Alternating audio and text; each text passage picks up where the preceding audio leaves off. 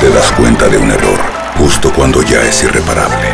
Un segundo o una décima de segundo después de haberlo cometido, o antes incluso, mientras lo estás cometiendo. Luego revives ese momento una y otra vez, detalle a detalle, con una memoria infalible, con los ojos entornados para no descuidar nunca la vigilancia. Lo examinas retrospectivamente, en la quietud de una habitación cerrada por dentro, o en la mitad del insomnio.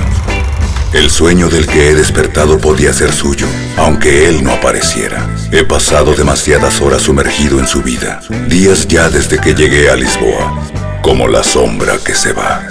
Los dos andamos por esta ciudad buscando fantasmas, los suyos, más ilusorios que los míos. Como la sombra que se va, la nueva novela de Antonio Muñoz Molina. La huida de un asesino que no pudo matar un sueño de libertad.